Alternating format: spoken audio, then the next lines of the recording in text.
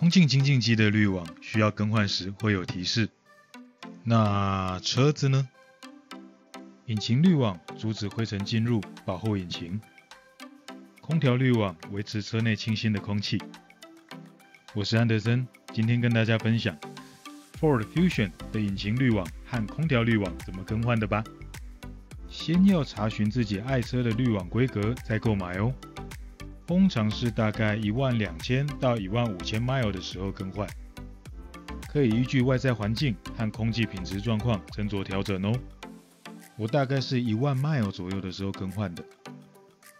先讲简单的引擎滤网。首先，引擎滤网是在引擎盖底下的这个位置，螺丝是心形的，所以需要对应的起子才能打开。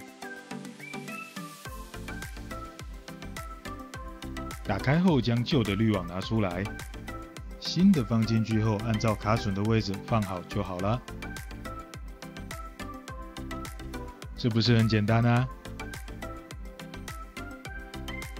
再来讲手续稍微复杂一点点的空调滤网，它的位置是在副驾驶座的手套箱后面。先用起子将旁边的饰板拆开。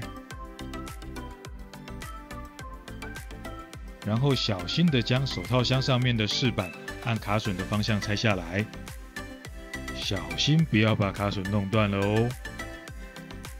再来是这里有四个固定螺丝要拆，分别在这四个位置。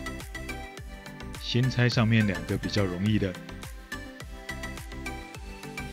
再来拆右下方的这个位置，最后这个螺丝的位置比较难找。要躺在副驾驶座的踏垫往上就可以看到了。再来就可以将手套箱整个拆下来喽。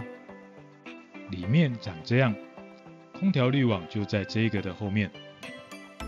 左右两颗螺丝松开后，就可以从上面把这两个往下打开就可以喽。把旧的空调滤网从里面抽出来，新的空调滤网看好透气方向。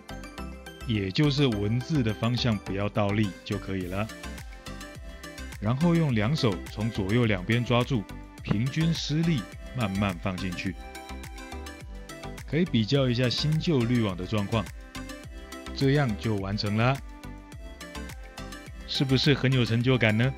一起动手做做看吧。